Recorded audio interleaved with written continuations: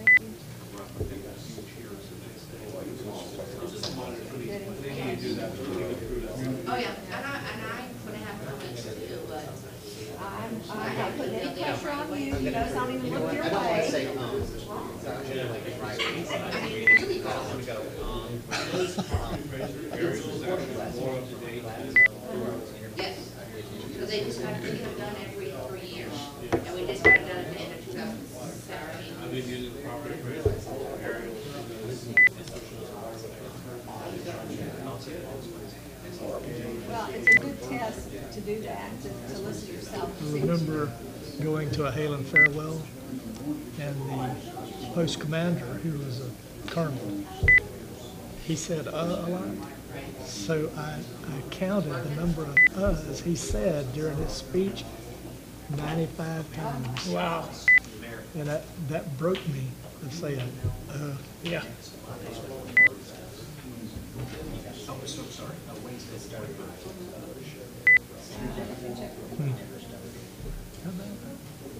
interesting. Hmm.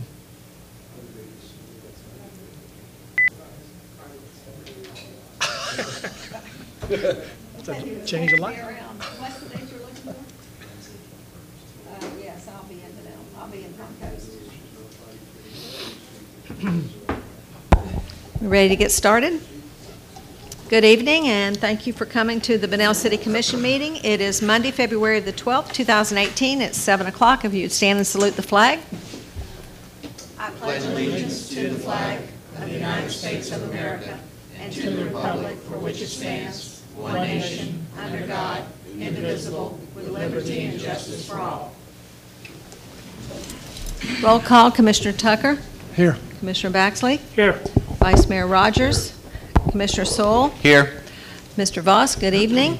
Mr. Davis, our city manager, staff, members of the public, thank you and welcome to our meeting. We always like to start our meeting with a word of prayer. We want to remember the troops that are all over the world fighting to defend the freedom that we are uh, doing tonight. We Want to remember those who are in training, those who are in active duty, those who will be coming home, those who will be coming home impaired, and those who will not come home We want to remember the families, those who also sacrifice and do what they do here, um, the sons and the daughters, the mothers and the fathers, uh, husbands and wives, to keep their home lights burning, to take care of business while their loved ones are defending our country. It's, it's quite a right and a privilege for them to go and do that, and we certainly do not want to take, take for granted the freedoms that we have. Um, Want to remember our president.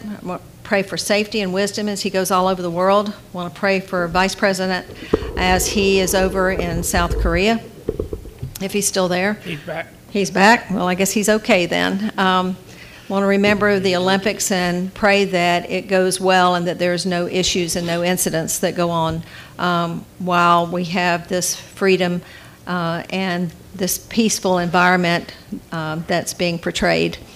Uh, Commissioner Baxley has agreed to open us with prayer. Thank you, sir. Bow our heads, please. Gracious and Heavenly Father, we just enter your presence with thanksgiving and praise. We just thank you and praise you, dear Lord, for the many blessings that you have bestowed upon us, O Lord. We ask you to be with us at this time. We ask you to be with each and every one at this meeting. Give us the ability to be able to say the right words and to do the right things that please you, O Lord. We ask you to be with our nation, O Lord, as they, especially our troops that are overseas, the ones that are in harm's way. We just ask you to see them safely back home.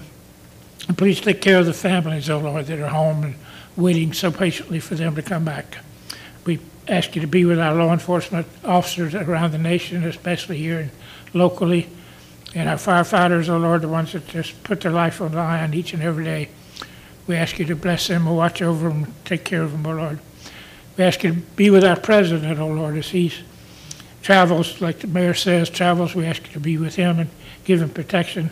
And most of all, uh, I just pray that you will send a, a godly man that will guide him in the direction that you want our nation to go, Lord. And if you'll do these things, we'll give you all the honor and glory. We ask these things in Jesus' name. Amen. Amen. Thank you, sir. All right. So we have a proclamation regarding the Winter Olympics as we are in it right now. So is there someone here for that? Nope. So I will read it. Uh, in recognition of the Winter Olympics Games, to February the 9th through the 25th, 2018, in South Korea. Whereas the Winter Olympic Games of the modern era will be held in Pyeongchang, Providence, South Korea, from February the 9th to the 25th, 2018. And whereas the Olympic Charter defined the goal of Olympians, Olympianism to place sport at the service of harmonious development of humankind with a view to promoting a peaceful society concerned with the preservation of human dignity. And whereas the United, uh, United Na- National General Assembly adopted Resolution 48-11 by consensus on October the 25th, 1993, building a peaceful and better world through sport and the Olympic ideal, supporting and urging all nations to observe the Olympic truce aimed to ensure the safe passage and participation of athletes and spectators at the February Olympic Winter Games. And whereas the City of Bunnell wishes success to the Pyeongchang 2018 Olympic and Paralympic Winter Games, and whereas the City of Bunnell wishes success to all athletes participating in the 2018 Olympic and Paralympic Winter Games, and whereas the City of Bunnell hopes that the 2018 Winter Olympic Games will encourage peace and stability in the Korean Peninsula and serve as a catalyst to foster cooperation and prosperity in East Asia, upholding the spirit of the Olympic Charter. Now, therefore, I, Catherine D. Robinson, by virtue of the authority vested in me as the mayor of the city of Bunnell, Florida, do hereby proclaim February 2018 as 2018 Winter Olympic Games Month and extend our community's congratulations and good wishes to Pyeongchang, South Korea, while hosting the 2018 Winter Olympic Games. Extend congratulations to all athletes participating in the Games and extend special congratulations, wishes, and prayers to the athletes representing the United States in the Winter Games, adopted this 12th day of February 2018. It's exciting times when you watch the Olympics and these young folks and how dedicated they are to get where they are today. It was also pretty amazing to see South Korea and North Korea together walking in as Korea um, and lighting the torch. It's amazing stuff. We'll see where it takes us. All right, we have some accommodations, and we have an accommodation for um, Perry. You want to come up? And we have Gospel Gardens here and Coquina Landscaping, and there's a reason why they're here. Well, this is a great day for Bunnell. Uh, about almost two years ago, Dan uh, met up with, with Charles, and Charles came in and uh, offered to volunteer in any way, shape, or form he could do with the city. And of course, we were struggling with taking over the center medians, as you know, and uh, he offered to help us out on 100. And that year was pretty successful, got some stuff under control. Um, so uh, both of these businesses are right here in the community, as you both know. Um, Charles, uh, Charles and, uh, and Ariel uh, run uh, Coquina Landscaping. They're right here across from the other side of uh, the uh, Wendy's, and they have been very, very kind to us. Um, they even came out during the hurricane and pitched sandbags for, for people, all on the volunteer. So, very genuine. Uh, we couldn't be more happy to have that relationship. Uh, since then, we've met up with Bill Campanella and, and his grandson Dan Gallagher. Uh, They, are- they own the Gospel Gardens. Dan's been around in, in the area for, uh, for 35 years, I mean, uh, Bill's been around for 35 years here in the area. And as you know, Gospel Gardens is just a beautiful place here, and um, you couldn't ask for better. And as the commercial says, he's right here under the water tower in Bunnell. Um, I've asked the both of them if they would be willing to volunteer to help us out with the, the center medians again, and they did. So we put adoptive center median highway signs up, and they are going to be taking over uh, right after this meeting. So with that, we want to honor them with a wonderful commendation from, uh, from, from the commission. And so uh, we have a certificate of appreciation to Gospel Gardens and to Coquina Landscaping for their cooperation and participation in our Adopt a Highway program on East Moody Boulevard.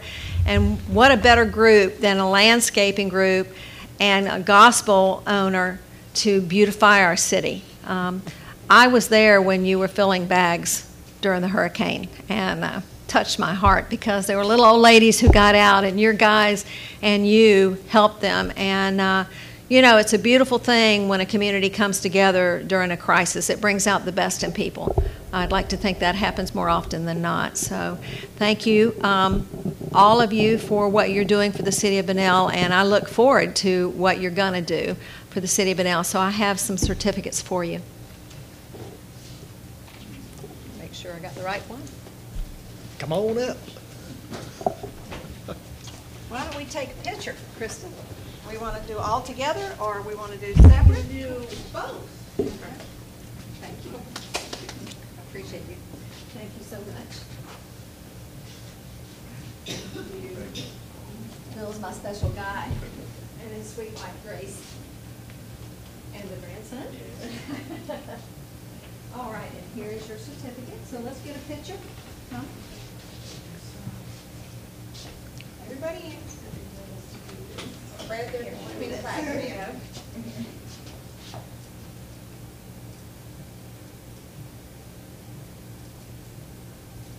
All right, all right, thank you so much. Thank you very uh, much.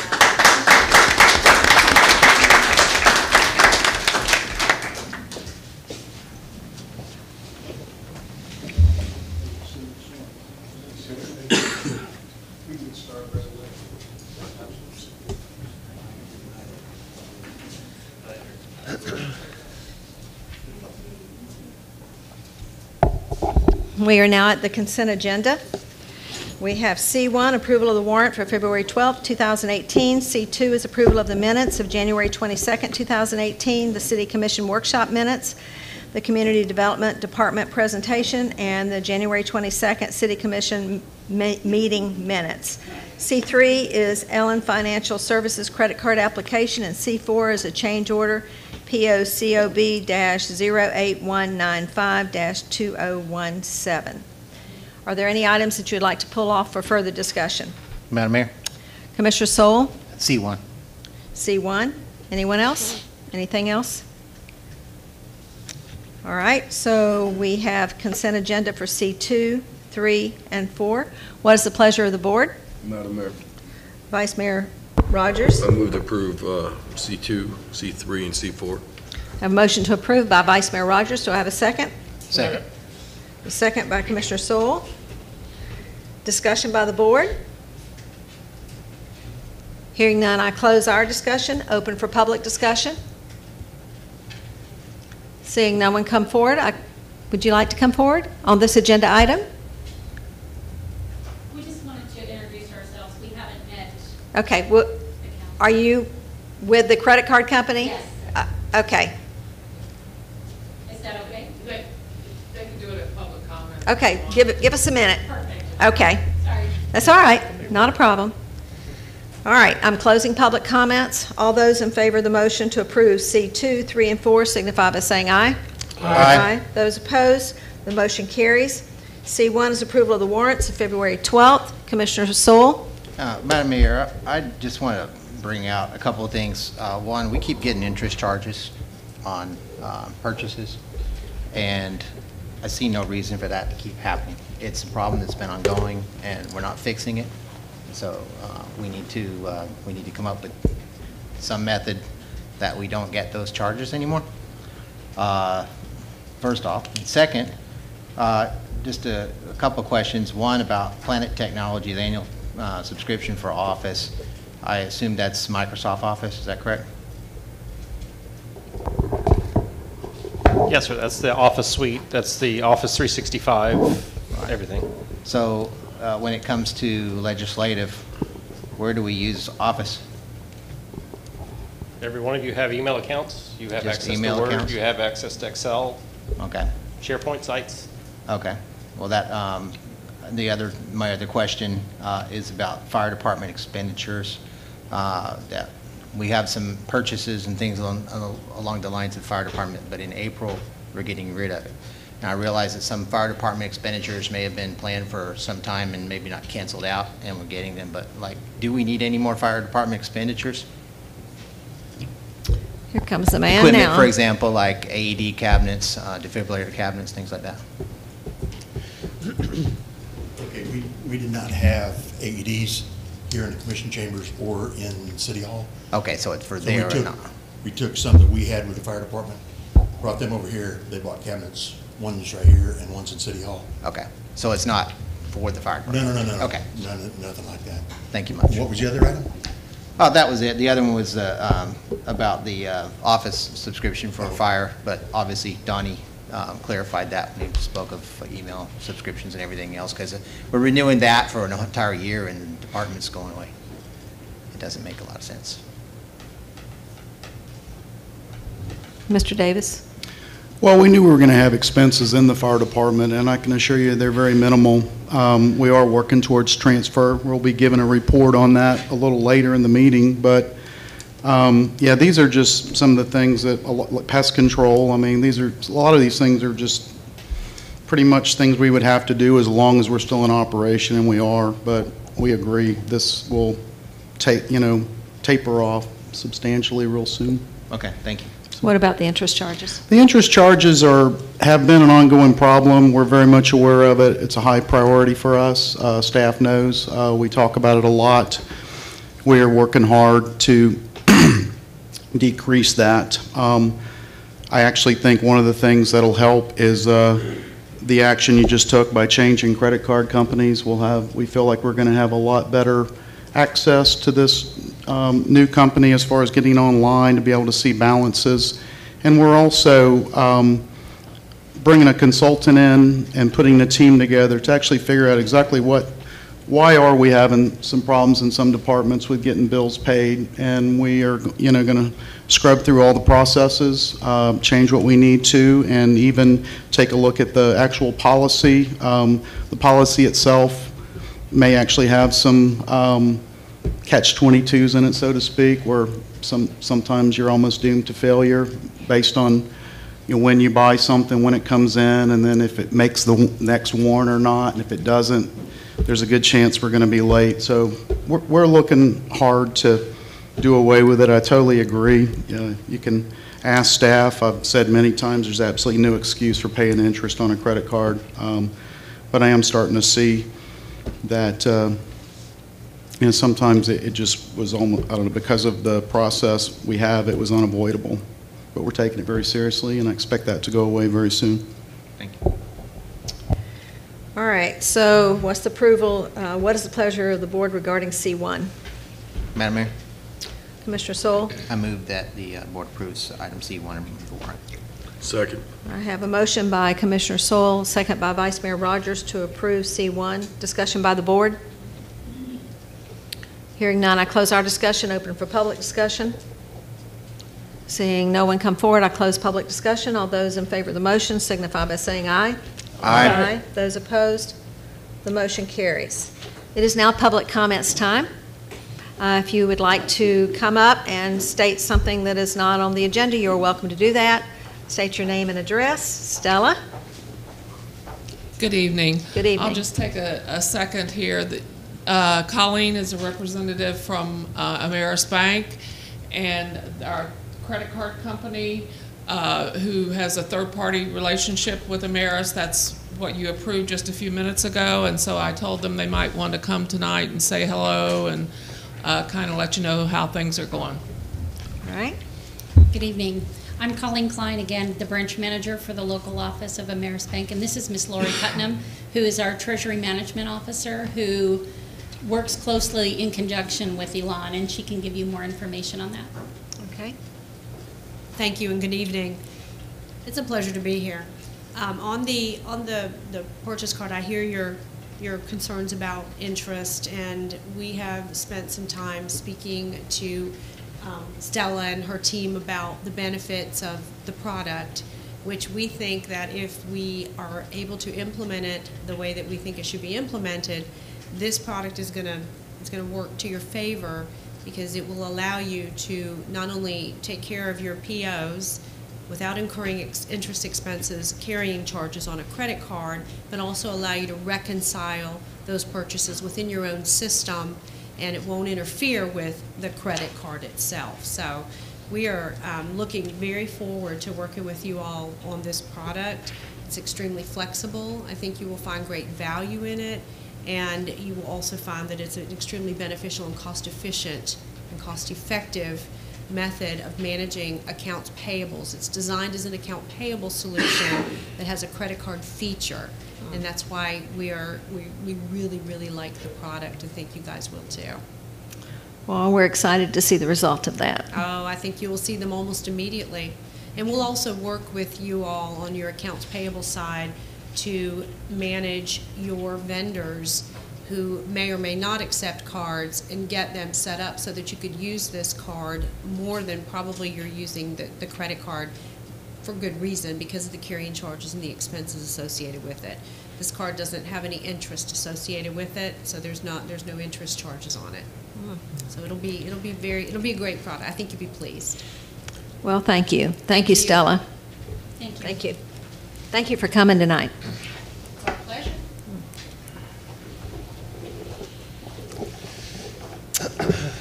All right.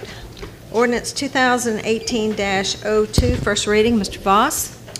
Thank you, Mayor. Ordinance 2018-02, an ordinance of the City of Bunnell, Florida, amending the capital improvements element of the comprehensive plan pursuant to Chapter 163.3177 Florida statutes, providing for findings of consistency, providing for conflicting provisions, severability, and applicability, and providing an effective date. And this is its first reading. Good evening, Kristen. Good evening. This is the annual capital improvements element required for a comprehensive plan. Uh, when they got rid of, or they repealed 9J, 5, and a whole bunch of uh, designations after that, uh, they uh, stated that we could do our capital improvements schedule amendment by ordinance every year. So we do this generally in January, around January, after we've adopted the budget, so that we know how much we actually budgeted for the current fiscal year. And then we try and plan out projects as they are defined as a capital uh, project by the comprehensive plan, not by an accounting uh, definition, by the comprehensive plan, which is it has to be a project or study in excess of $10,000. So not all projects that are on here are going to be on this schedule, but they may be on the city's list of things to do.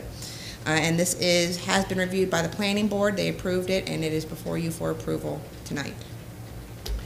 So you've heard the short title, first reading, and Kristen's explanation. What is the pleasure of the board regarding E1? Madam Mayor, Commissioner Tucker? move that we approve uh, ordinance 2018-02, first reading.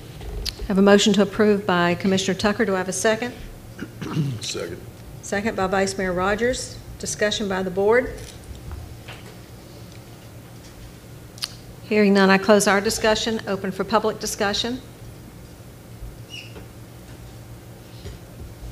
Seeing no one come forward, I close public discussion. All those in favor of the motion signify by saying aye. Aye. Those opposed? So we have first reading, it'll come back for second reading. Ordinance 2018-03, first reading, Mr. Voss. Thank you, Mayor. Ordinance 2018-03, an ordinance of the City of Bunnell, Florida, repealing Ordinance 1958-A, amending the Bunnell Code of Ordinances to include regulations for door-to-door sales, creating Article 8, door-to-door sales, providing for conflicting provisions, severability and applicability, and providing an effective date. And this is its first reading. Thank you. Kristen? Good evening. Uh, Back in 1958, the city did adopt regulations for door-to-door sales. For whatever reason, it never made it into the code of ordinance, but because we did adopt it, it was a regulation that we had to enforce. It was really out of date. So we decided to repeal it in its entirety and adopt regulations that do make sense uh, to have in place to protect the citizens uh, who may have these door-to-door salesmen coming uh, to their doors. There are um, requirements for background checks when they apply for the business tax receipt. Uh, the police department would have to sign off on them being a door-to-door person who does sales. And there are hours and other types of regulations. It does exempt groups like Girl Scouts, Boy Scouts, or school groups from having to have a business tax receipt to go door-to-door sales for their fundraising. So those nonprofits, those exempt organizations wouldn't have to have the business tax receipt to do those sales that they would do for fundraising. Um, but door-to-door salespeople, pest control, vacuum sales, those types of vendors would have to have this license in order to go door-to-door and do sales within the city. All right, thank you. So you've heard the explanation and the short title to 2018-03 ordinance, first reading. What is the pleasure of the board? Madam Mayor, Commissioner Baxley, I'd like to make a motion to approve 2000-03, first reading. 2018-03, first reading. I have a motion to approve by Commissioner Baxley. Do I have a second? Second. Second by Vice Mayor Rogers. Discussion by the board. Madam Mayor? Commissioner Sewell? Uh, Regarding Section 14-151, uh, subparagraph B, the applicant must obtain a criminal background check and obtain a written recommendation or approval from the Bunnell Police Department or designee prior to applying. Uh, My question there is, uh, is the background check the only basis of the approval, or do we have any other criteria? Uh, they'd also be subject to the business tax receipt requirements, so if they, if what they're doing requires them to have a state license, then we would verify that they have a state license as well. They would have to have their business registered with the Department of State so that we know that they're reporting taxes. They'd also have to follow the other regulations for business tax receipt. Okay, but in regards to the Bunnell Police Department, do they have any other criteria that they are doing prior to their recommendation for approval? Because it says, get the background check and obtain a written recommendation or approval from the Bunnell Police Department. So I want to know is, is the, they pass the background check, they get the approval? Or is there some other criteria the police department uses before they issue their approval? Do you want us to write in which offenses they shouldn't be approved on? Is that what you're asking us? We, we looked at adjacent jurisdictions, so they, in their regulations, they did not go specifically into if you have been found with possession of marijuana, or if you've, if you've been convicted of this in a certain amount of time. They didn't go into those when we looked at adjacent jurisdictions, but we could write that type of criteria in if that's what you're Well, asking for. The reason I ask is because it, it needs to be something that's applied across the board in written policy, okay, on the basis of approval. Uh, And by us writing it properly the first time, that insulates the police department from ever being accused of doing something unfairly, okay? So it's our job to write an equitable uh, ordinance and policy that uh, includes or ensures equity for everyone, okay, based upon given criteria. But if those criteria are not published in advance, and the police department is just left to decide on this one will say yes and this one will say no, that subjects to the police department to unfair accusations and scrutiny that they don't deserve.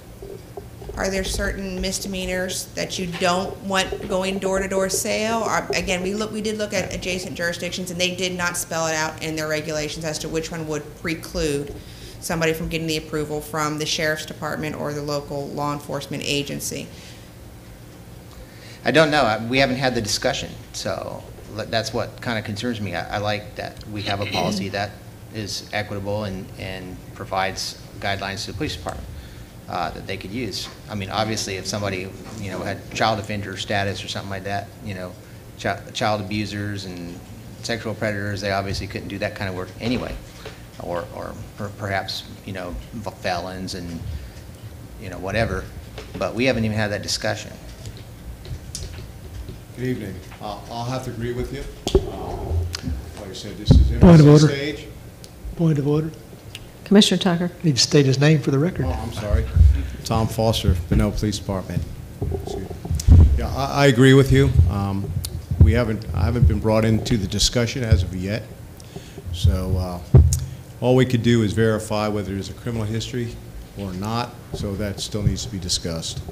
So basically, the issue is if, if they pass a background check, that's really all we're doing here.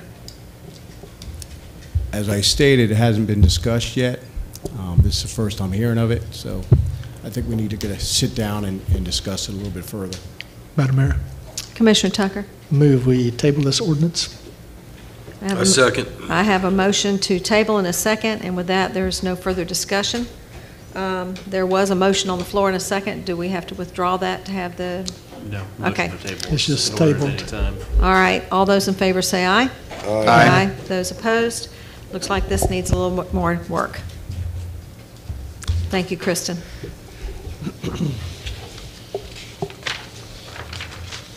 All right, ordinance 2018-04, uh, first reading, Mr. Voss. Thank you, Mayor. Ordinance 2018-04, an ordinance of the City of Bunnell, Florida, amending the Bunnell Code of Ordinances, Chapter 10, Animals, to provide for exemptions and regulations relating to dog parks, specify prohibitions against animal cruelty, provide for standards of care and inspection of commercial animal establishments, provide for feral cat trap neuter release activities, prohibit tethering of dogs with exceptions, repeal licensure requirements for dogs and cats, require a chicken permit for keeping chickens in specified residential areas, and provide associated regulations, exempt registered hunting areas from bird sanctuary regulations, providing for definitions, providing for conflicting provisions, severability, and applicability, and providing an effective date. And this is its first reading. Kristen? Good evening. Back in 2017, when we amended the citation schedule, a number of sections of the Code of Ordinance were identified for uh, amendment. The animal chapter in and of itself was identified. It's taken a little bit of research to get everything together because that chapter had been touched only in sections uh, over the years.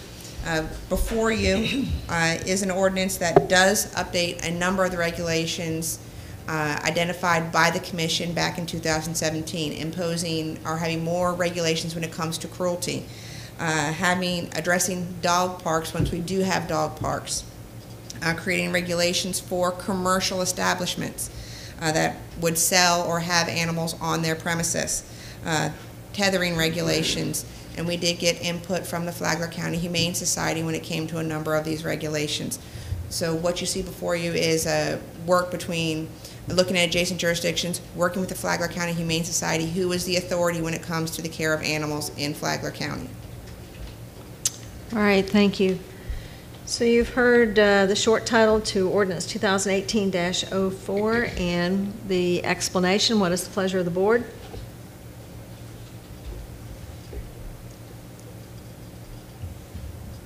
Madam Mayor, Commissioner Baxley? make a motion to pass 2018-04, first reading. I have a motion to approve by Commissioner Baxley. Do I have a second? Second. Second by Vice Mayor Rogers. Discussion by the board. Commissioner Tucker? Madam Mayor, I I think we may have, maybe trying to shake out a bigger loop than what we can rope. Because this says, number 10, uh, section 10-11, running animals, running at large exemptions shall be unlawful to allow or, or permit any animals to roam or run at large within the city. And there's no exceptions to that. Where are you at? I'm sorry. Page two, it's section 10-11. Okay. Section Then- C is the exemption. Animals exempt from this section are working dogs. Well, but it doesn't exempt people in agriculture, people who run cows, people who have horses, um, people who are in the agricultural business, in the cattle business especially. It doesn't make any exceptions to that. And, and beef cattle run at large, on a large 80,000 acres in Bunnell. So that, that needs to be addressed, in my opinion. Commissioner, if you don't mind me asking, uh, subsection C right after that, uh, I I think address a Third portion of that if they're, the very next page. um, And if there's any, that, that's the ordinance as it exists right now. Um, and if Talks there's about any working additions- dogs. Yeah, exactly. exactly. Hunting dogs. Working dogs, hunting dogs, work, used, dogs are used in working livestock, et cetera. So if we have any additions to that, we can work that into that, certainly. Well, you need to exempt those who are engaged in agricultural activities. See, what this needs to be is for the core area of Bunnell, not for the outlying areas of Bunnell. So if you change the wording to the core area, then I'm, I'm pretty well happy with it. But also in 10 253, a permit for livestock. So, you know, livestock to me is what we run in the pastures, you know, cattle and horses, that's livestock. Um, And it, it kind of, it kind of aims at what the core, th- this needs to be in the core area, and it doesn't need to pertain to ag land. That's the, that's the, And the section downside D- of this thing. Yeah, section D of that says livestock on land zoned agriculture, agricultural, and timberlands or conservation is exempt from that entire section for the livestock permit. I missed that. Okay. We, we worked over this, we knew you were going to bring up this, this exact issue. We looked it over Well, I three or went to four page times six, to I look guess. for it. Okay. But we, we welcome any modifications on, on the dogs running loose and so if that's not Mhm. broad enough, that was certainly Well, the intention. The 'Cause dogs, the land you know, or the- because when you have a cow dog and he's, he's tired, he's going to go back to the house. Well, he may ride on the side of the road. He may run along the side of the road. I know people who have that, you know, their, their cow pen is only, I don't know, three quarters of a mile, a mile from their, from their headquarters where they live. So those, those dogs may not have a collar on them, but they're going home. That's why a while back when we were doing all this adding land, that, you know, I asked for the, for the uh, opportunity not to have dogs, working dogs, included in any dog ordinance, because they're not the same.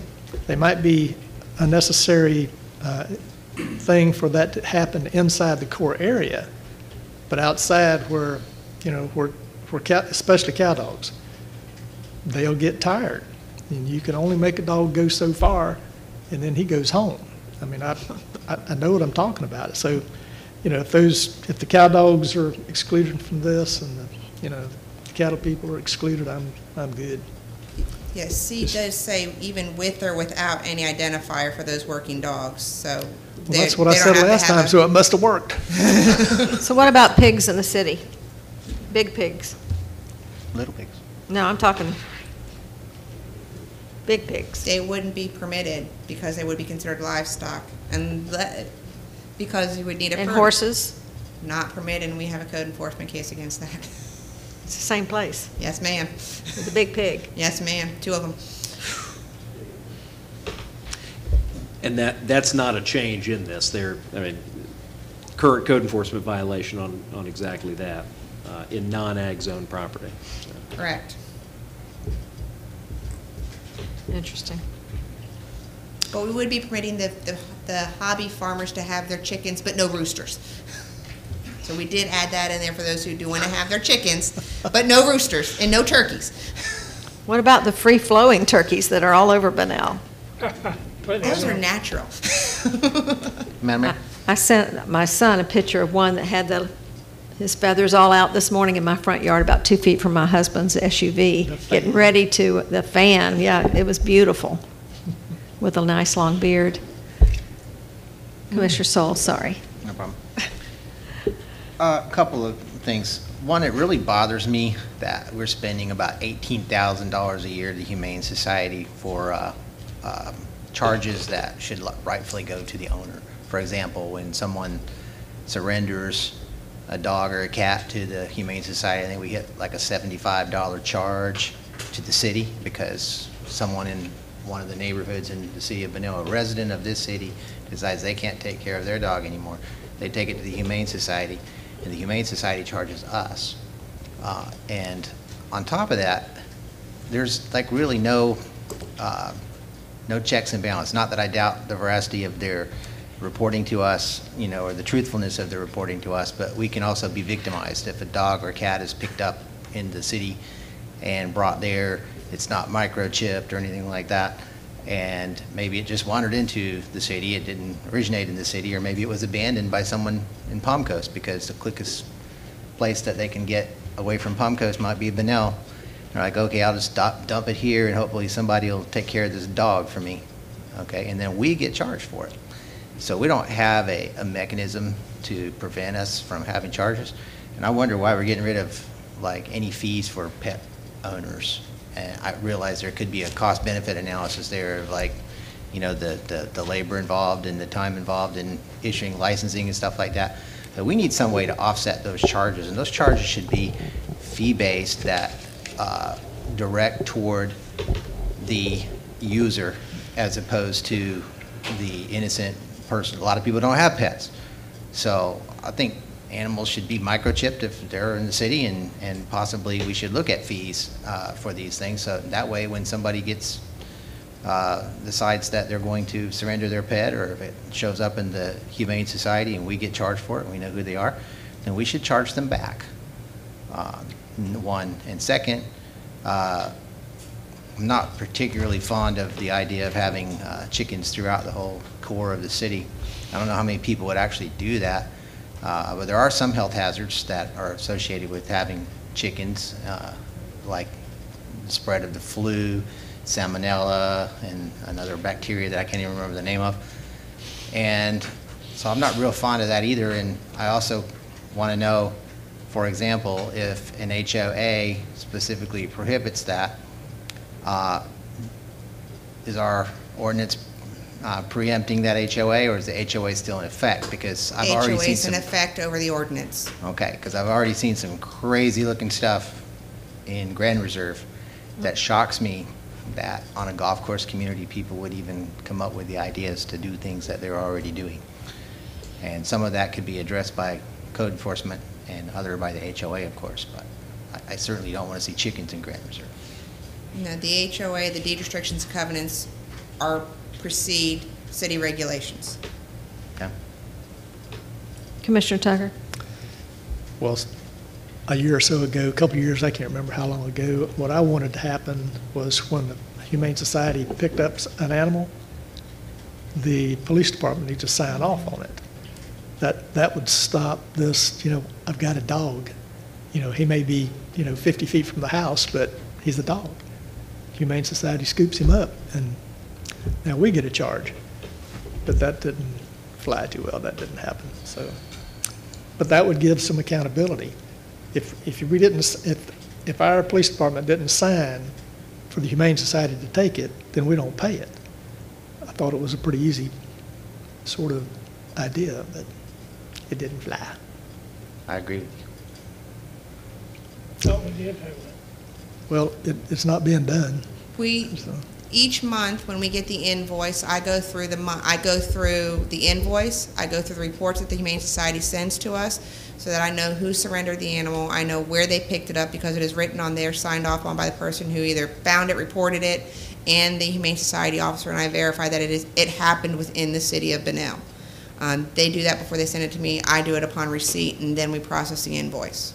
We make sure that all animals that they are putting on our invoice were found or in the city of Bunnell. And lately, it's been a lot of stray cats. I think some, uh, some fees for pet owners could help offset these uh, charges that we're totally um, powerless to prevent.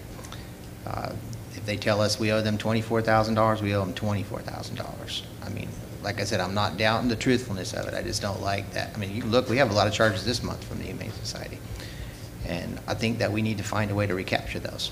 But that's two months' worth, November and December, because they forgot to bill us for November. So we got two months at one time.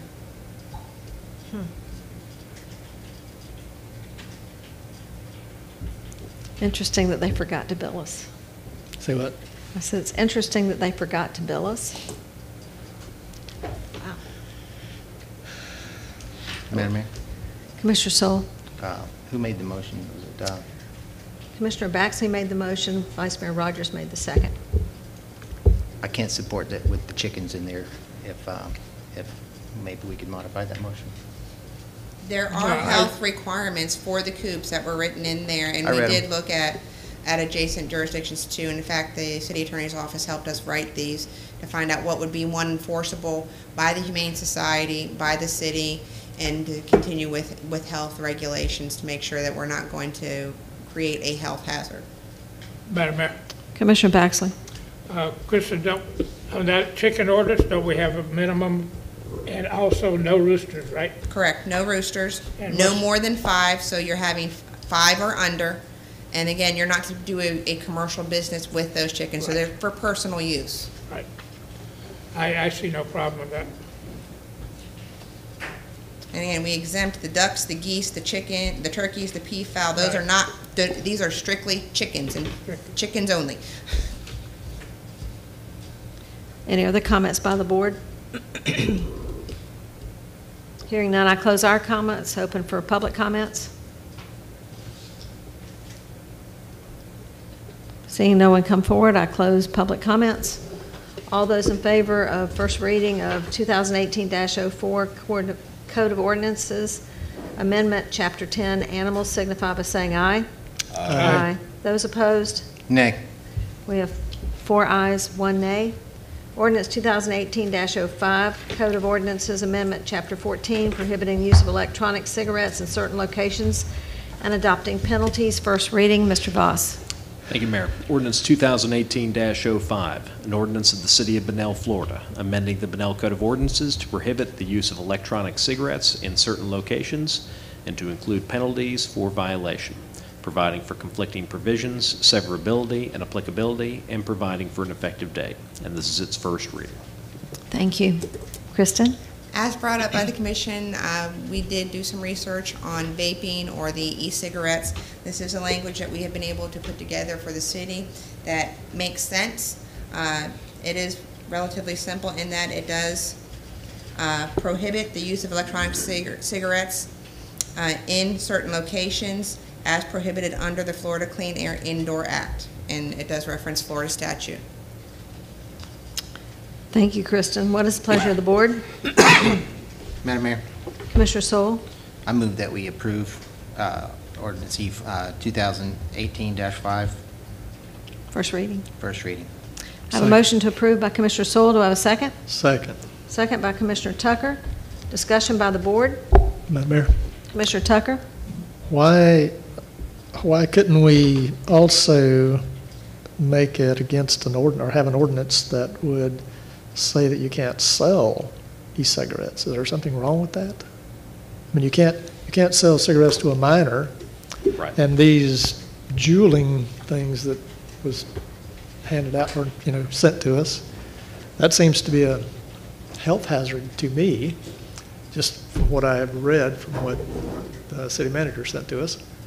Um, That, that sounds kind of dangerous. You know, it's talking about one of these little sticks, I guess that's what you would call it, that, you know, 200 puffs equals to a pack of cigarettes. So, you know, if we, if, if you can't sell cigarettes to a minor, it doesn't say anything about not selling it, it just says you can't be in possession of it, in essence. So why can't it go a little farther and say that it's illegal to uh, market these things to minors in the city of Bunnell? Let, let me, let me ask you, is, is the goal to prohibit the sale to minors or prohibit sale to all people within the city? Well, of course, I'm, I don't smoke or drink, and, you know, I'm, I'm a Boy Scout, you know, just, that's what I am, so. So I, I don't care for any of it, but for at least the youth who are, you know, developing habits, forming habits, I mean, this, this is a killer here. I mean, this, this is supposed to be worse than, um, than actual cigarettes. So if we're, if we're uh, stopping the use in, in the city of Bunnell for these type activities, I mean, why don't we just go one step farther and say it's illegal to sell these? I mean, are we violating some law to say that we can't do that, or we can, we can't prohibit the sale of these things? He- Here's the complicated area, let me, let me give you some, some thoughts, because I actually ended up having a meeting with city manager uh, when I was up here on a couple different matters, and actually spoke to folks who've come and spoken to you all before from, um, what's it called, Agenda 21 or what are they? the um, tobacco-free Tobacco. Flagler Partnership, who is, Yeah, the SWAT team. right, exactly. Yeah. So I got, uh, we, we sat down and actually they were able to come in, uh, and uh, someone from Jacksonville as well, right, who's. did- From did Tobacco 21 from the right, state. From the, kind of the statewide effort. So we sat down and talked for a while about exactly this issue. The issue you run into is preemption issues from the state legislature, okay? So first off, let me tell you, that the ordinance that's in front of you here to, to ban the use of e-cigarettes by all people in certain places is not preempted, perfectly legal. A lot of other cities and counties around the states are doing this. Currently, under state law, it is a crime to sell e-cigarettes, even these JUULs here that are that mm. particularly nefarious in how they're how they look and so on, but tho- that's a type of e-cigarette, and it's illegal to sell those uh, to people under 18 in the state of Florida. It's a crime. Um, The question becomes whether, by the legislature passing this statute, they have impliedly authorized the sale of these, uh, this equipment to people over 18, okay? Because the folks with um, Tobacco-Free Florida and so on were saying, hey, why don't we push one that says, you know, we're going to ban it for uh, folks under 21, which is kind of where they're going, or even better in their eyes would be banning it for everyone.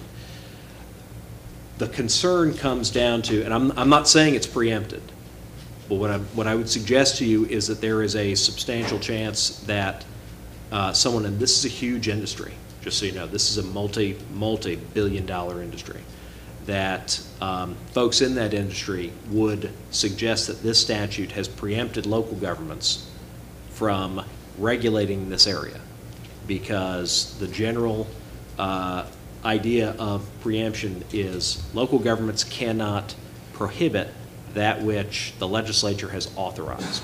And there's enough language bouncing around in this, it's not clear whether or not they meant to expressly authorize or just prohibit it with kids or, or what have you. Um, An earlier version of the same bill here uh, that, that created this ban on e-cigarettes for under 18-year-olds, uh, an earlier version of it was very clear. It preempted it to the state. That language got taken out, but they happened to leave the word preemption in the title. So there is a word preemption in the statute, even though there's no preemption language in the statute itself. Um, It would make for a great piece of litigation that I, I don't know if you all are very interested in jumping into. Um, But I will Coming tell you- I from will our tell you attorney's this. mouth. I I will tell you this, um, what I understand from the Tobacco-Free Florida folks, the city of Jacksonville is looking at something very similar, and their coffers are much deeper. And um, they may be doing that, and they can send them off to have that little fight, and if they can ban it for something, uh, for a wider range, then you guys would be sitting pretty to be able to do that. I'd suggest it would be, it would be picking a fight. And as I understand, there's at least one business in the city, that Yeah. their primary business. Couple. Four, ah, that where their, their primary business is selling precisely these devices. So to, uh, to ban entirely would be to de facto shut them down. Uh, To, to bump up the age wouldn't necessarily, it may fly under the radar, but again, that would be um, kind of a, a a risk that everyone would need to analyze. So what you're saying is the state's already made it illegal to sell to under the age of 18? That is exactly right. I also believe, um, when we had that meeting, we, we talked about um, trying to actually have some influence over the legislator to see if that was kind of somewhat of a typo, that the word preemption was left in, and see if maybe we could get it, re- they would consider removing it. And I think, Scribbler's error? Yeah, we. right, right. I don't and know how successful that would be. They but- had a provision in there that said it, and they took it out, but left it in the title. Some lobbyists got paid a lot of money for making that happen, I'll tell you that. But um, uh, this late in the session, I don't, we talked very earlier in the session, I don't know if that could go through this time, but perhaps next time. Um, In any event, though, this is a very hot area, as I said, fortunately or unfortunately, or whatever, there are billions of dollars in this industry, so there's going to be more development uh, along these lines. Um, Now, I, I, I will suggest something else as well, because you, you brought up something that came up in our discussion as well. As opposed to prohibition uh, certain ages and so on, the statute only prohibits selling to minors. Doesn't, as, as I recall, as I haven't looked at in a couple weeks, um, it doesn't, yeah, it prohibits selling to minors, it prohibits giving uh, free samples to minors. That they had to do that separately is kind of scary, but uh, they're covering their bases there.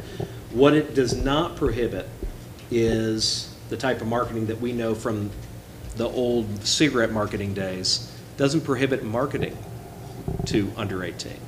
And you saw in, in that article there, they've got all these bubblegum flavored, all these Mhm. flavors that would probably only be appealing mostly to children that they're selling to and so on. Um, So one thing we were discussing was having some regulation, it'd have to be First Amendment compliant, uh, uh, commercial, regulation of commercial speech, but regulating basically uh, advertisements or communications trying to entice children to, to want to buy.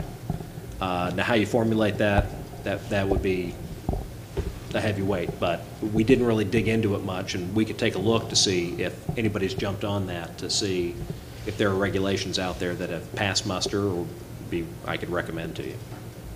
Madam Mayor? Mr. Davis. If I could just add to that, I, I'm a member of the Tobacco-Free Flagler uh, Partnerships. I go to the meetings every couple of months. Um, As Vice Mayor Rogers said, a big uh, component of that is the SWAT, the students that are against tobacco. Um, There's a movement going on in Flagler County about this, exactly what you're saying. There's a lot of people out there that feel the same way, and we're kind of leading the way in the county as far as actually even doing an ordinance like this. It's going to make those folks very happy, and I think this is just the first of more to come where we're going to get, I think eventually we're going to get to what, exactly what you were talking about. It's going to take a little time. This is a really good first step, though.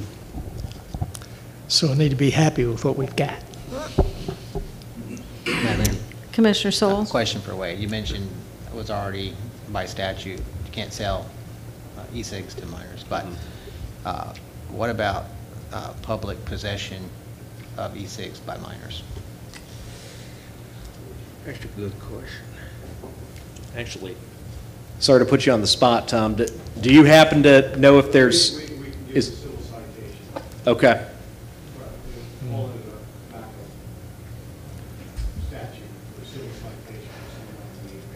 Okay. Yeah, the, the, I think the answer's that, because there, there's no prohibition on possession, it's only sale or giving it to a minor.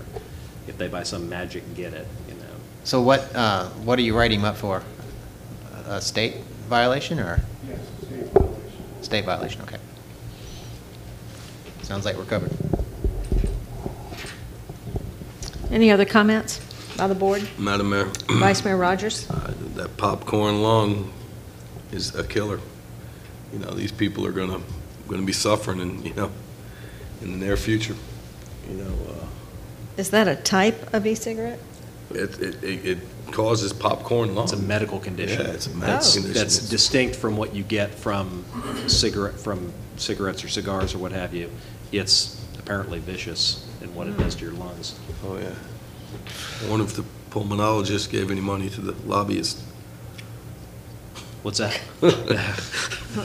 You said the lobbyist was gonna make a lot of I money. know, I know. And Commissioner, actually, I, Tom knew it off the top of his head, obviously, uh, but later on in the statute, there is, there is a um, uh, civil citation system for possession in the statute. It's just not criminal, but it's just as Tom said, so. Any other comments? Hearing none, I close board comments, open for public comments. Seeing no one come forward, I close public comments. All those in favor of the motion to approve ordinance 2018-05 on first reading signify by saying aye. Aye. Those opposed, passes on first reading. We'll be back again. We have no resolutions, no old business.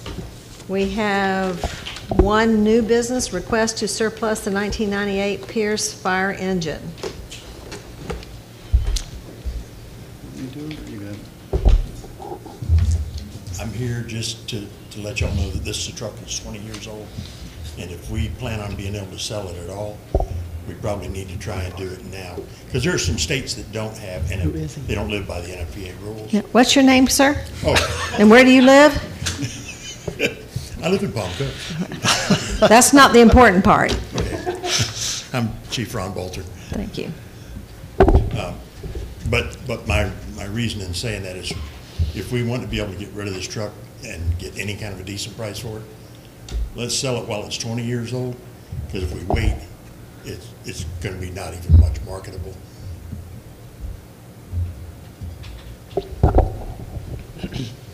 Mr. Davis? Just, I think it's in the staff report, but the county's not interested in keeping the truck. You know, we had talked about when we did the transfer, um, that any equipment that they would want to use, and they've made it clear that they have no interest in it. So we have some good leads on some places we think we can get top dollar for it, so. Madam Mayor, Vice Mayor Rogers? um, Dan, can, uh, can Donnie or somebody pull up Gov Deals on the internet and put it on the screen, or no? Is that possible? Uh, we looked at Gov Deals, we also looked at, um, Fire Tech. Uh, Fire Tech, it, it looks like one of the better places to go, but I know that the county uses, uh, I think it's Gov, Gov Deal or, I forget the name of the company now, but I think it's Gov Deal. Uh, Public Service? Okay, it's Public It's Service. called Gov Deals, G-O-V-D-E-A-L-S dot com. And if you go on the front page of it, they have a listing for fire trucks.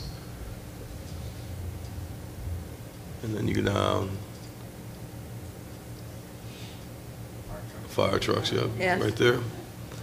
And if you look, um, on page one, they have a a 98 Pierce model tilt cab, reserve lowered, and the, and the the bid on that is like uh, 20,000. You see that one?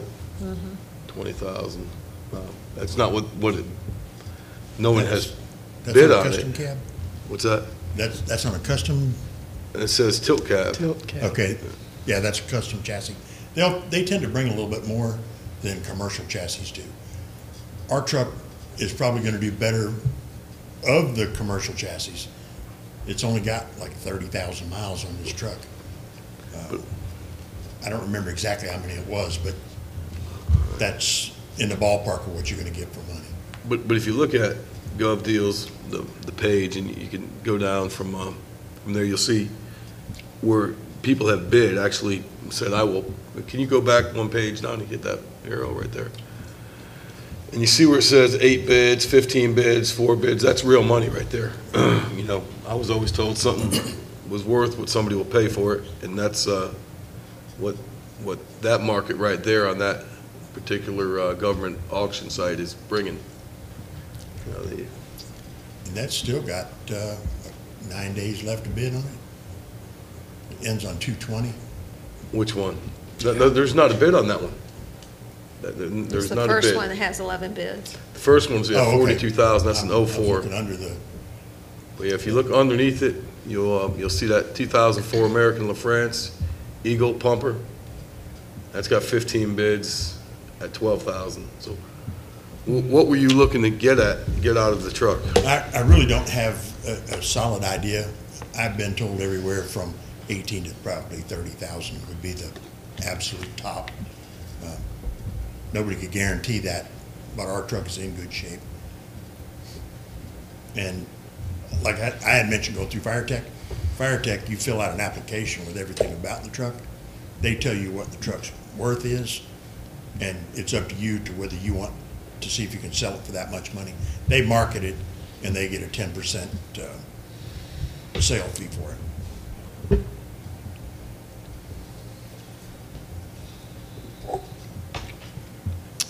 So are you, uh, is this a motion we need for this?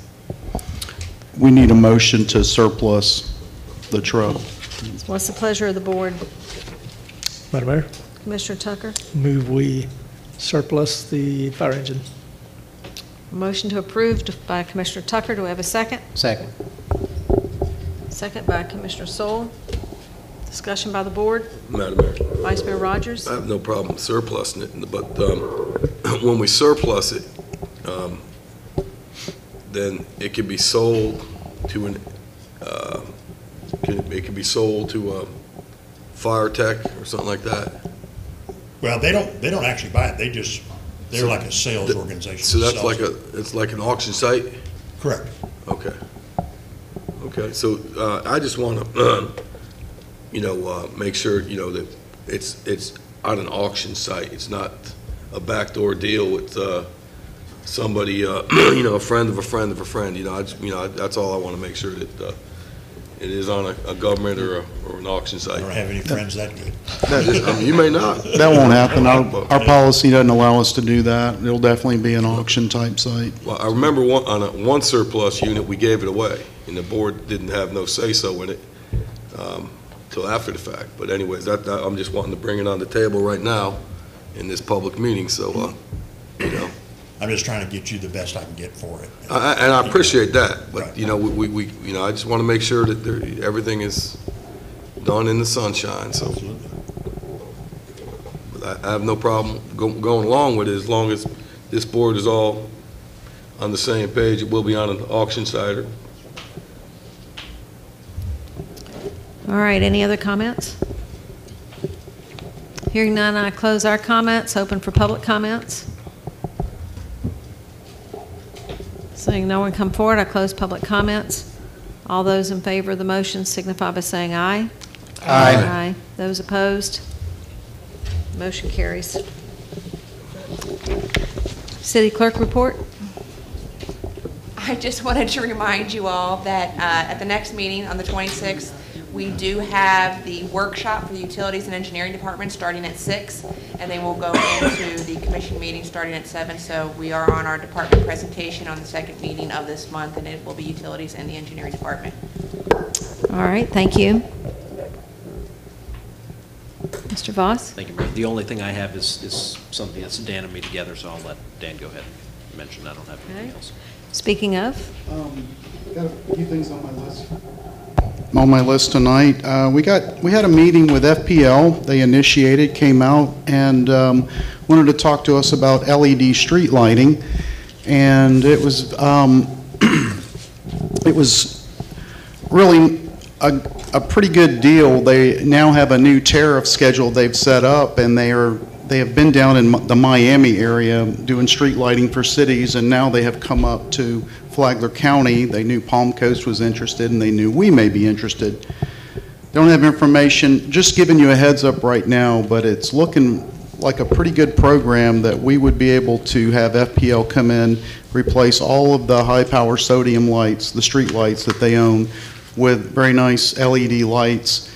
And because of the energy savings, um, our bill would actually go down, what we pay, and um, even for the LED lights, because they own them, so the maintenance and, and the repairs and all that are on them, and we still pay just a, just like we do now, a monthly rate per light. So we're looking into it, um, might even do a workshop on it, just to, to have a PowerPoint presentation, be able to show you what's coming and, and how long it would take. But it was pretty exciting, because I looked, I tried to find the holes, or what, you know, how is this a bad deal, and so far I have not been able to find that. And if you've been up North Belle Terre at all, um, they've already done that. It's just amazing the difference that the LED streetlights make as far as the color, um, the natural light, um, being able to see so much better in the dark and all. So more to come on that. Um, This was something that I was supposed to mention to you a couple meetings ago, and it had slipped my mind. Our policy said that, says that when we, when I make an emergency purchase order, that I need to notify the commission at the next meeting. And I apologize that, um, that had slipped my mind. Um, We did have an emergency purchase order. You received an email about it. It was for some chemicals and it was about $13,000, so it was over my threshold, uh, but it was something that needed to be paid. Uh, It's been taken care of, and I'm just following through by our policy and notifying you that that did take place.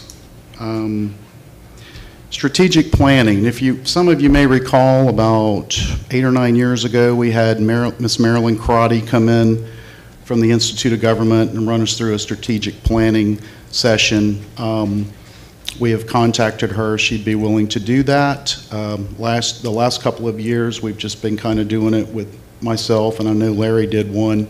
Um, I can tell you, I can't, I can't do the job she can, so if y'all are interested in that, it's about $2,000 to do that. Um, She'd be willing to um, do it, you know, during a day or on a Saturday, or, um, we do have the money available uh, left over from Halloween and Christmas. I don't really have to know right now, but I just wanted to mention it if y'all want to think about it, and I can ask again at a future meeting. But um, I think there could be some value in that in guiding us to our future where we want to be. Um, So just wanted to mention that. Um, We had had some citizens that were concerned about speeding on Elm and Sherman, and I think we've pretty much taken care of that. We did a speed study. It did not reveal um, anything real significant. However, we did the study after we put a stop sign in at Elm and Sherman. I think that really took care of it. It's a short enough street with that stop sign that the cars just really can't get up any speed. I think the highest one we had was about 35. Most of them were, the average was down around 21 or something like that. So staff feels that by putting in the stop sign, that took care of the problem. So just wanted to report back on that. Um, It was alluded to when we talked about the warrant, but I just wanted to point out that we now have an, an AED here in the building. Just wanted to point out the location here behind uh, Donnie and Christine. Um, We also have one in our office building, uh, Building 1. These were, belonged to the fire department, and since they weren't going to need them anymore, um, we got them, and then that's why we just had to buy the cabinets. Um, We didn't have cabinets for them, so. And, gosh. Um, Day of Prayers coming up, first Thursday in May. Just throwing that out there. Um, Don't want to put anybody on the spot, but Vice Mayor Rogers, is that something Yeah, that yeah, you want to continue to? um, Absolutely. Okay, kind of go with the format like we did last year? Yeah, in the city um, hall. And Right. just, okay, we'll start working on that. Okay. Um, I don't normally like to do this, hardly ever unless I'm sick or something, but I would like to not be at this meeting on the 26th. I talked to the mayor about it, have an opportunity to, um, it- it's a trip that's kind of limited when I can go, and that's one of the days, so um, I have full confidence, and I'll make sure all the department heads are here on the 26th so- so that they can answer any questions that may come up, but um, I will not be here that night. And last but not least, um, Wade and I have uh, made some significant progress in the two negotiating meetings we had with the FOP rep, and we are ready to uh, bring what we have to you in a um, a shade meeting. So we just wanted to bring that to your attention and ask to be able to schedule that um, sometime in the, in the next couple of weeks if possible. That, that was why we were asking about your morning, your day on the 21st. Wanted to see if maybe that morning we could uh, have a meeting to bring you up to speed on that. um, Show you where we're at with our negotiations. 21st of this month? Yes, sir. Wen, yeah, Wednesday, uh, February 21st, sometime in the morning. Okay, I, I'm in Palm Coast that day, but I'm teaching a class from 8:30 to 12 that day. So if we can do it noontime or 1 o'clock maybe, um, I could manage that. But um, that morning is going to be difficult.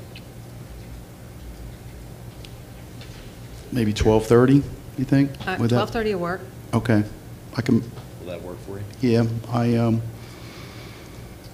I'm heading to Fort Pierce. One of the other things I was going to mention, I'm going to a servant leadership seminar in Fort Pierce that Thursday morning, and I'll be driving down to Fort Pierce late Wednesday afternoon. But um, I don't think this it shouldn't take too long, so that won't interfere with my plans. But I- I will be leaving town sometime that afternoon. 12:30 would be fine, Okay. on the 21st. How does that work for everyone? I hope I'll be here. Where are you planning on being? Here, I'm a, I have a little job down the street here. I, I know about those.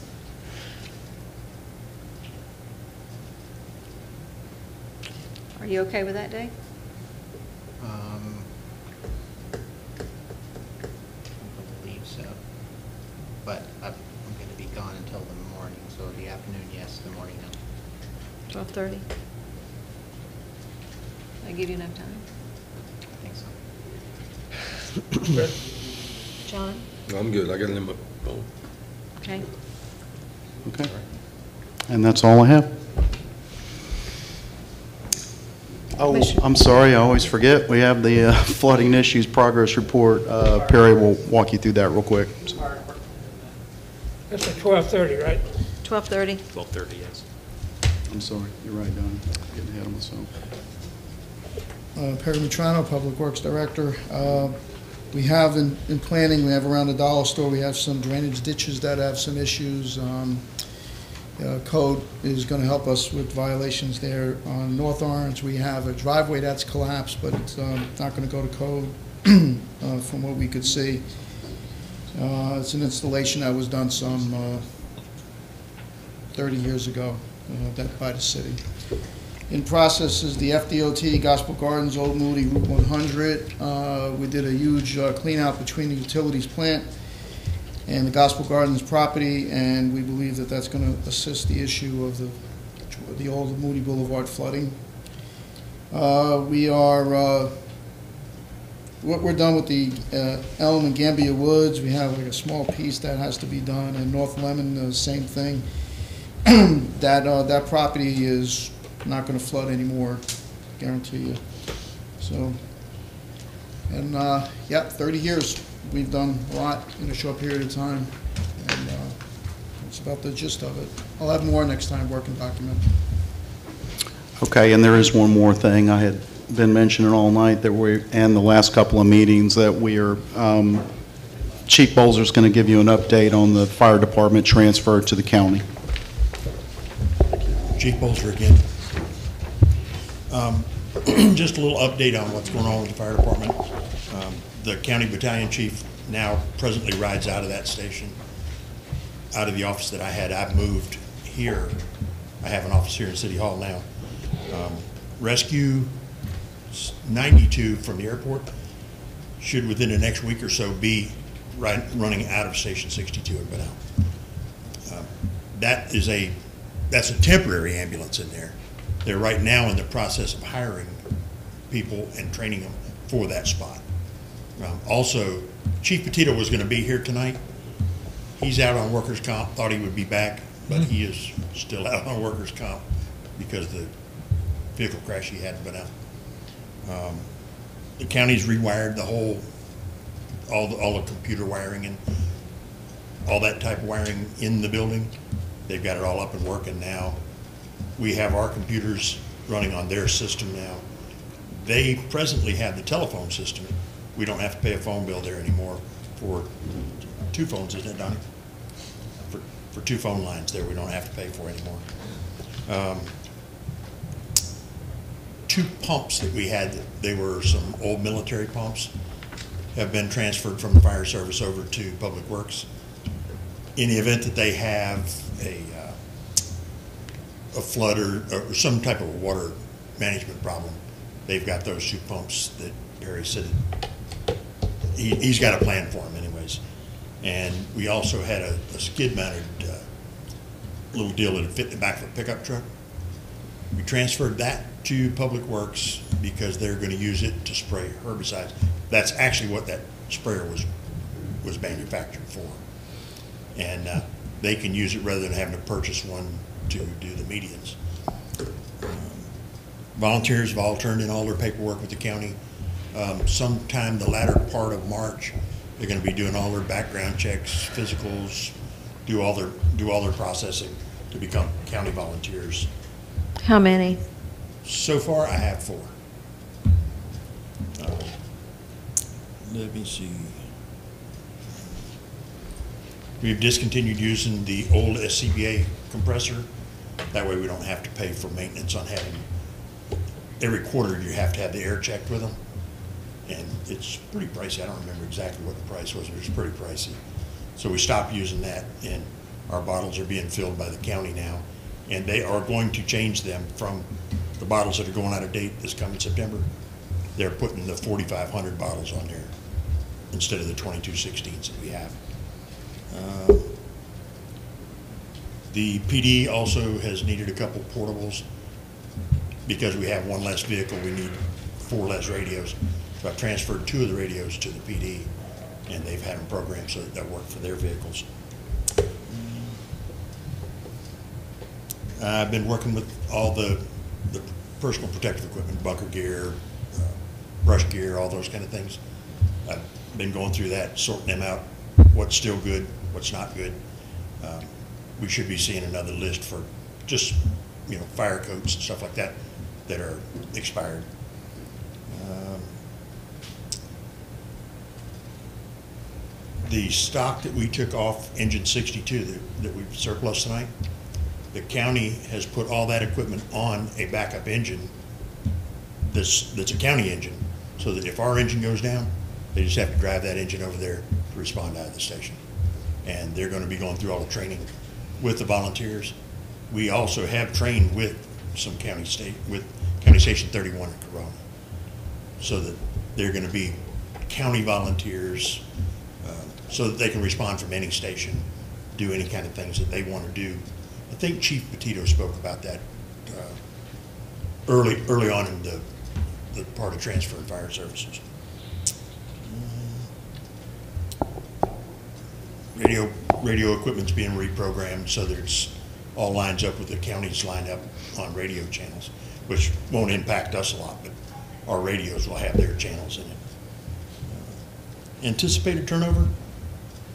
Uh, Probably the end of March, March twentieth, April the first, some, somewhere in that, that period. And uh, they should be doing everything at that point. Deal. Thanks, Chief.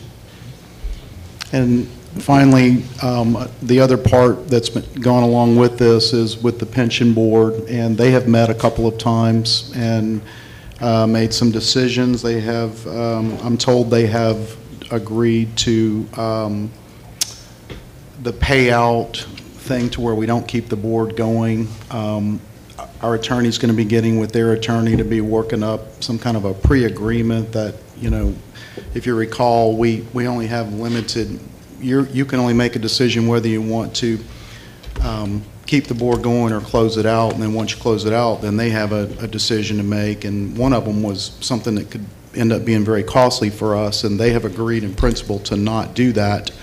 So we are going to ask to have an agreement, so before you make your decision, we're getting very close on that. Um, The pension board has taken that, the money that they have in their fund and put it in a cash account, so, because the market's been so volatile, and so uh, we know what that number is. They have a few bills they need to pay, so we're just trying to, um, you just have a few more numbers to crunch on, on what that's going to cost and what's going to be left for them.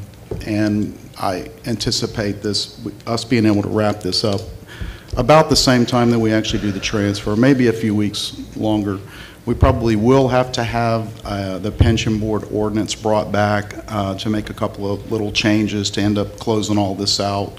May go into April, but the bottom line is, I, we don't, and Wade and I and Stella don't feel um, that this is going to drag out, that we're going to be able to agree, uh, you know, make everybody pretty much happy with this and and get all the volunteers uh, paid out like we had said we would, and that that will happen, you know, within the next couple of months. So more to come on that, too. Making a lot of progress, though, just about done with that.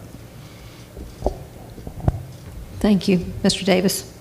Commissioner Tucker? Can I ask a question if you've had a little talk with some of your staff about ordering or having purchase orders before they order things and going through that process? Have you had a, had a conversation with your staff? Yes. Relative to doing the purchase order the correct way? Exactly. And you have have. had those conversations? Yes, we have. Good deal. Thank you. Yes, quite often. Okay. It's, it's my number one priority to Good ensure deal. that Thank they you. continue to do that. Thank you. Anything else? No, that's it. Okay. Commissioner Baxley? Yes. I'd like to uh, thank Perry and the uh, departments doing all the paving. They're doing a great job. It's, uh, looks real good. And we're getting a lot, a lot of roads covered now that were really bad. Just beginning to look, look like a, we're making progress. Vice Mayor Rogers? No, ma'am. Commissioner Sewell? I've been doing a lot of thinking lately about uh, the city itself and our economic priorities, how we grow the city of Bunnell. And I realize that we've been trying for years about Commerce Parkway Connector, and we're still looking for money, and that we might get some from the CRA, but, you know, it's borne no fruit yet because of property valuations. But I, uh, I, I kind of, like, kind of question, I had a conversation with Dan, we had lunch uh, about a week or two ago, and I, I kind of wonder, where are we going with economic development in the city of Bunnell? And I beat my brains up trying to come up with good ideas on how we can grow our tax base so that we can tax each and every citizen less.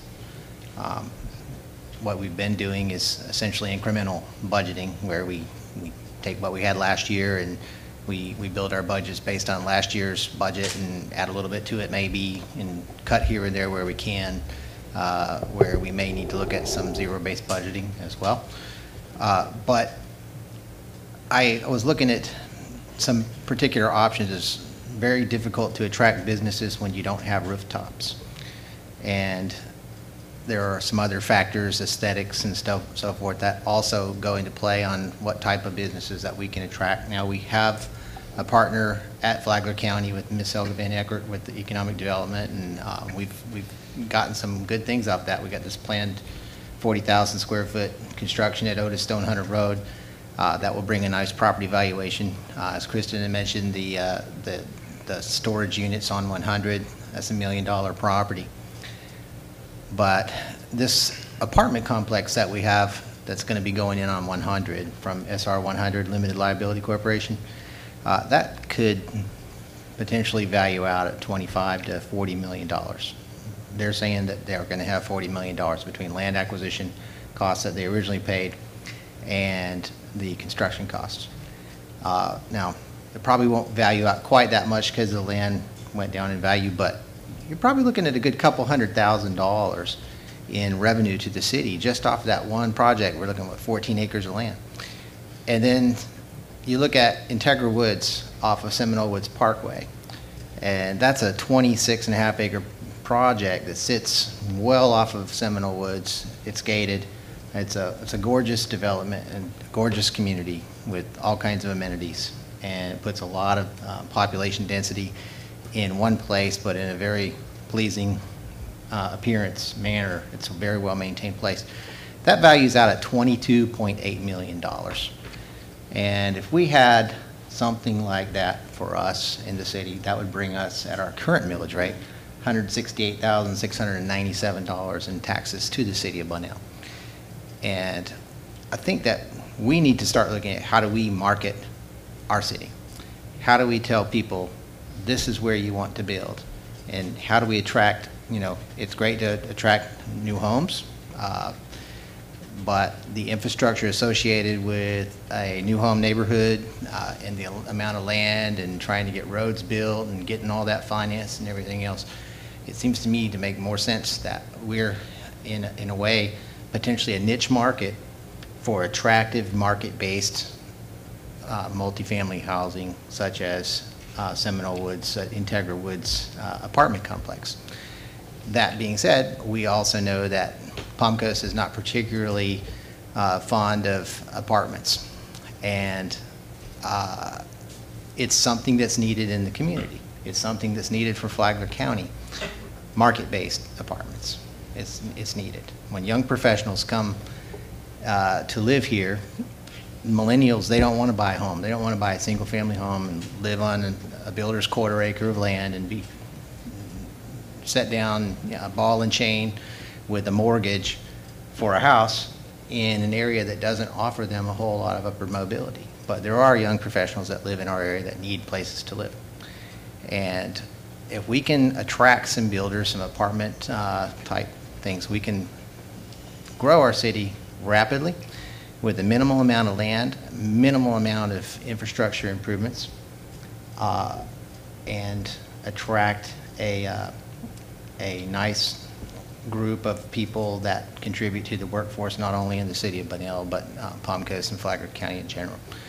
So that being said, uh, I would just like to not wait until budget season next year to even talk about economic development. Uh, Perhaps maybe in a couple of months down the road, where everybody's had some time to think about it, we could schedule out a economic development workshop and invite some outside experts as well uh, to get together with us, put our best ideas forward, and see how we can make Bunnell a better place for everyone and share the burdens of taxation that we have in our city with more people, uh, a bigger tax base. And if we can do that, we can close that gap in our millage rate between the city of Palm Coast and us, that puts us at a competitive disadvantage. Sounds good. I like it. And this kind of goes right along with the strategy session you were talking about, because we're looking at short-term goals and long-term goals. Right. And this falls right into that. So certainly, uh, that's a consideration. I don't have anything particular to, uh, to bring out tonight, so I- I do apologize for leaving rather quickly last time, but I had a little personal issue I had to take care of, and I appreciate your patience and Vice Mayor Rogers, you carrying on, as I'm sure you did. He buttled He- through it. I didn't touch that. Y'all just went right with that, didn't you? So, do I have a motion to adjourn? So moved. Second? Have a motion to adjourn by Commissioner Baxley, second by Commissioner Tucker. All those in favor of the motion signify by saying aye. Aye. Those opposed, thank you and have a great week.